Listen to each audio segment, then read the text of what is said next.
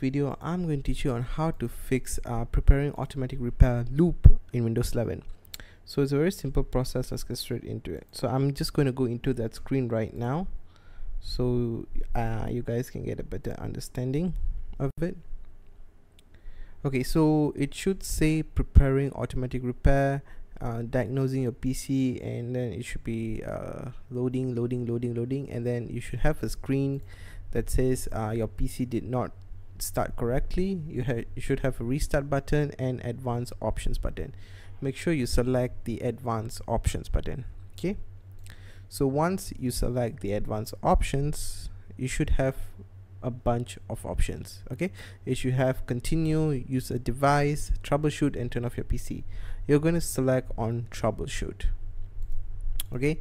You can try to select on continue but it will only loop the problem again. So just click on troubleshoot and then uh, you should get to the screen right here. Uh, my PC is loading so yeah I'm just gonna wait for that. Okay guys so it should bring you to uh, the screen that says troubleshoot just now. So once you click troubleshoot you have this screen. You can click on advanced options. So once you click on advanced options you can click on startup repair. So startup repair what it will do it will just allow you to diagnose your PC and it should check for disk errors and it should attempt the repair. If you uh, have the startup error and it's still the same uh, what you can do is you can come back into these uh, troubleshoot settings go into advanced options okay?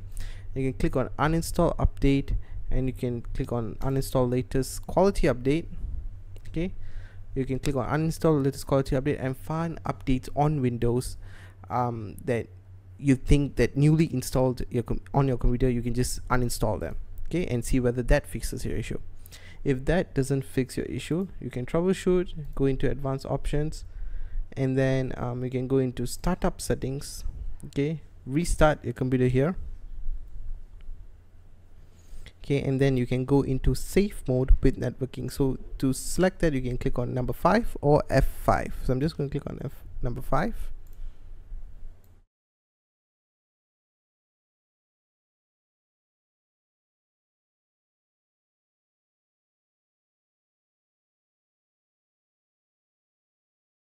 okay guys so once you're here on safe mode okay you can go into here and click on uninstall.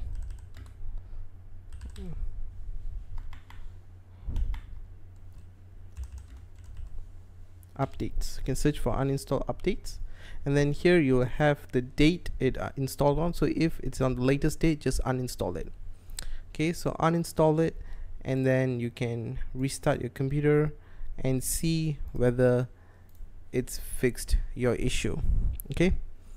And if all of this haven't fixed your issue I would suggest you to just reset your PC okay guys so if none of that uh, fixes worked okay and you still end up in the automatic repair screen just go into advanced go into troubleshoot go into reset this PC okay? So make sure disclaimer you will lose all your files if you choose the remove everything.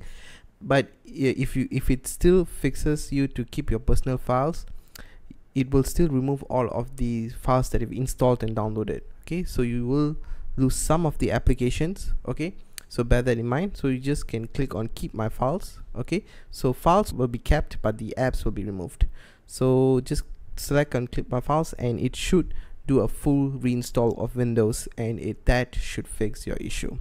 If that does not fix your issue at all you can just find a bootable um, just make a bootable uh, drive with Windows on it and then install Windows that way. So that's all for this video guys. I hope it helped. If you have any other issues and other problems please put down comments below.